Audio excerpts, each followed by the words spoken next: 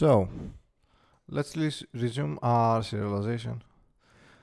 And well, on our save file, we have so far the saved model behaviors. Of course, this is for when we are save our player, enemies, and so on. And this is where we save our interactions. But we are missing one crucial thing, and of course, that is saving the actual inventory we have. Okay, we kind of have already done most of the work for that. Because if we go on our player profile we will see we have this list. Okay so we have our starting clothes well basically can be the clothes yeah, that you actually already have equipped and then you have your right hand. Whatever is on your right hand then whatever is on your left hand of course the consumables and every item that you might be carrying. So basically we just need to serialize this in well this is also serialized but of course this is prone to editing especially when we play in uh, the editor. And any changes that happen to this they will not actually uh, be saved with the when we leave the game mode. Okay. So there's two ways to do this because however the player profile or the inventory of uh, a player uh, saves more than every well it saves more than the the rest. So for example we only save positions and stuff like that when we quit the game. Okay so uh, the inventory will actually save every time that you change something and every time that you pick up a new item. And by change something I mean maybe you could well I think apart from the consumables when you change uh, a sword or when you change some clothes and all that it does uh, do a save. Uh, of course that's easy to find but let's assume that that will happen every time then. So to avoid writing multiple files, uh, well, to avoid writing a lot of objects that we don't necessarily have a use for, for example, for we don't need to save model behaviors every time we change uh, a sword or stuff like that. We're only going to save strings. So we're going to create a new serializable class, which will be our profile save and in here we're going to have all our yeah so basically we're just going to take anything we have on our player profile which is somewhere here okay? We need this to be saved. So let's see. I'm going to put this on a new vertical tab and right now we could just do save and we could also write public profile save or yeah public profile save get save or get savable profile. So in a sense this will be really simple. Let's put this back in here. Because all these are in a format that we can actually serialize. Okay, say return the save and if we just do save dot all items equals new list and then save dot all it uh, yeah save dot all items dot drains all items.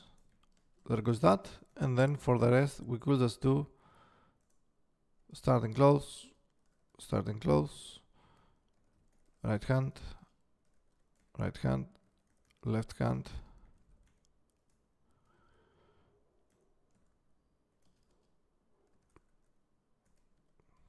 Okay. So this will uh, get us the savable profile However, there is one small problem. And that small problem is that we actually only know IDs. We do not know conditions. Okay, so this will only save the IDs. For conditions, for example, the sword you might have could have durability at zero, or it might be broken, or anything else. So that will not be saved in this case. This will only give you uh, new clones of the base object. Okay, for now, this will work. Okay, let's fix this and see how it will work. And then later we're going to move into serializing actual instanced items instead of just the IDs. So, on our serialization script again, we kind of want to do the same thing. So, I'm going to copy this and paste them again. And now, this will be saved file or save profile to file and get let's see we have two get files okay so get save profile so now we need to change this. We of course it's important to change the name as well.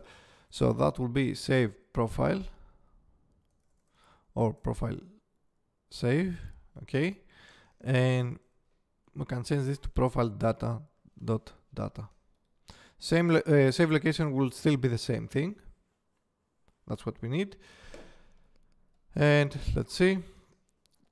And when we get that back we're going to be returning a profile save. So that means this needs to be casted as a profile save.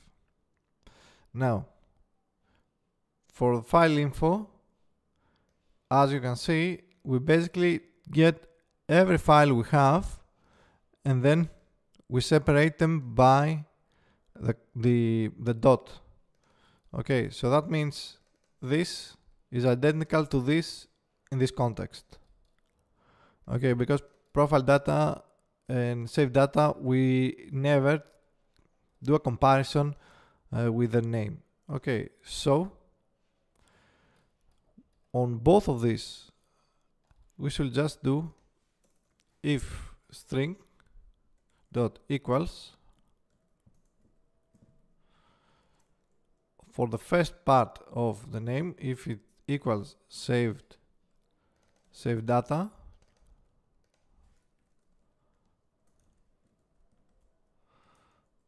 then we'll continue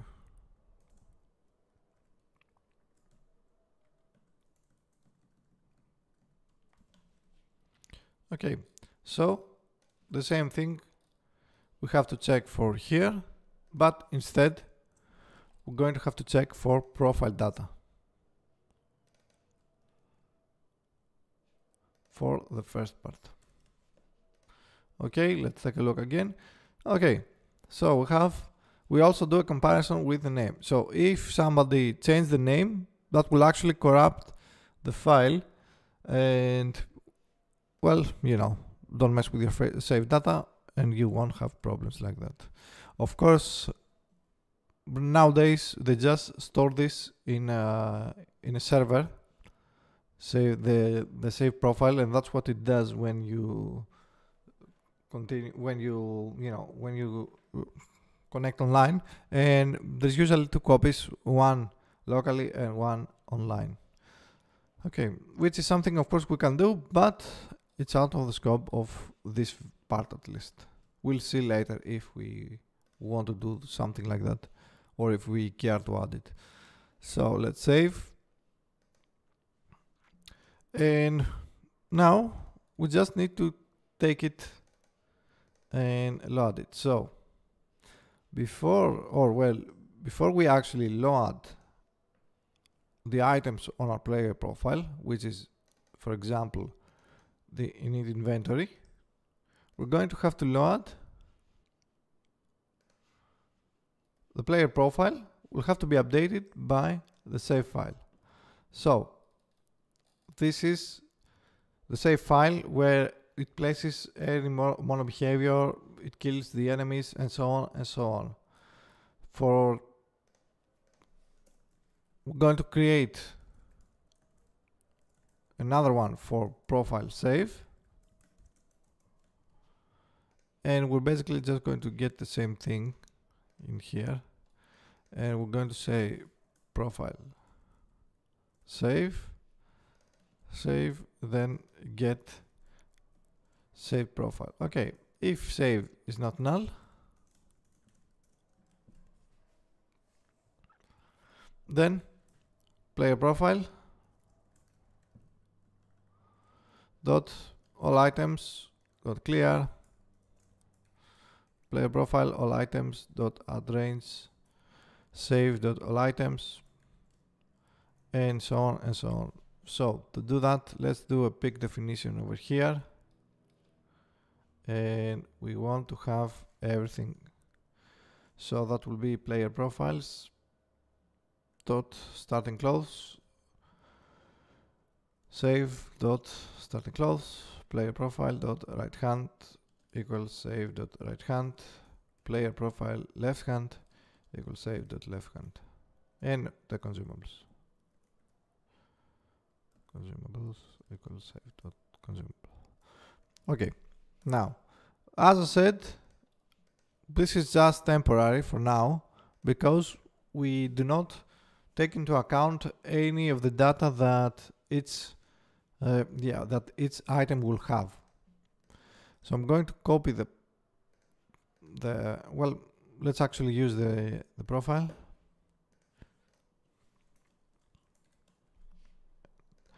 Okay so this will check when we begin and update the profile because it's on start then it will run before any other behavior so it should be fine.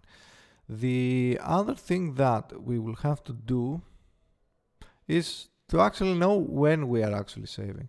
So well you know the elephant in the room is we actually only do it on application quit mm, but not on this.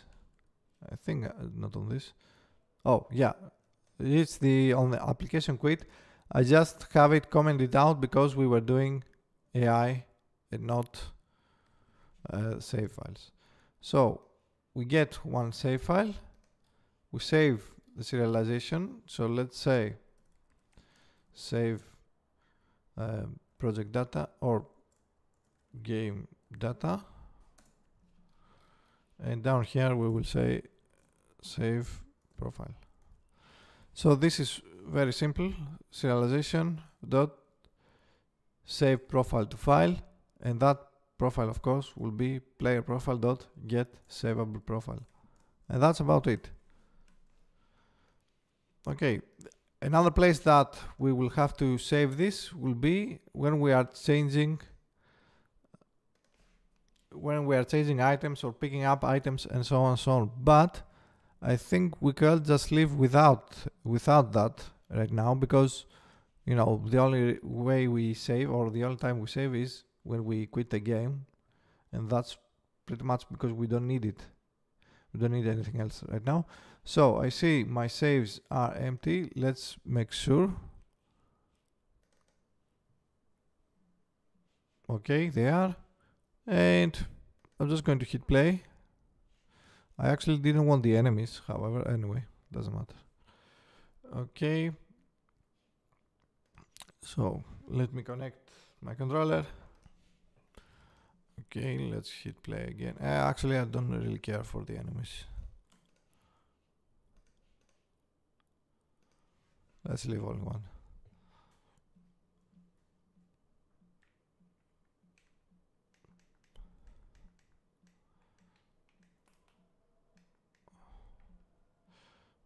Okay.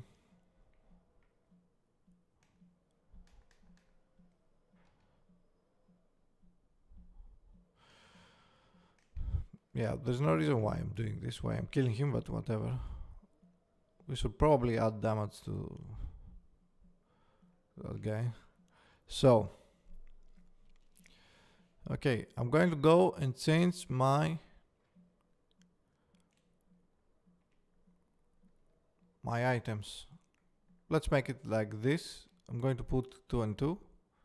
Okay, which then, if we go out and if we now go under our player profile it will translate into Firecaster Firecaster Greatsword and Greatsword so let's change the arrays let's delete everything even and let's try this out we can go on our save file and we can see that we now have our profile data and our save data so when I click play we should virtually be exactly back to where we were.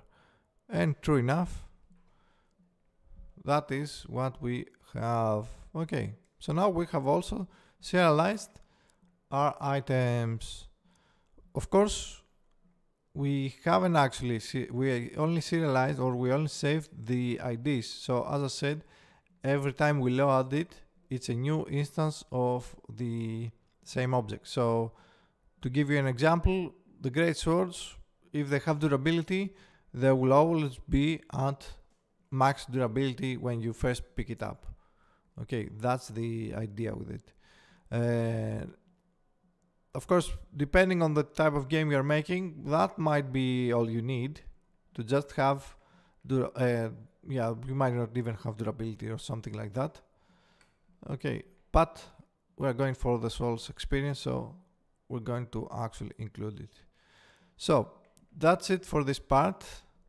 And on the next one, we're probably going to just save the instance items instead of the instead of just the IDs. So as always, you know what to do. Like, subscribe, and if you like to see more stuff, more videos, more series, then consider supporting me on Patreon so we can keep making all of these nice and beautiful things we are making. I'll see you next time.